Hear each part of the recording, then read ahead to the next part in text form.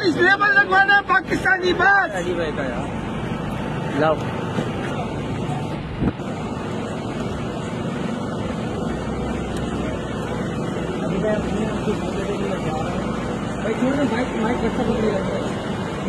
भाई मैं इस मुल्क को छोड़ के जा रहा हूँ और कोशिश करूँगा कि फैमिली को लेने भी मुझे ना आना पड़े।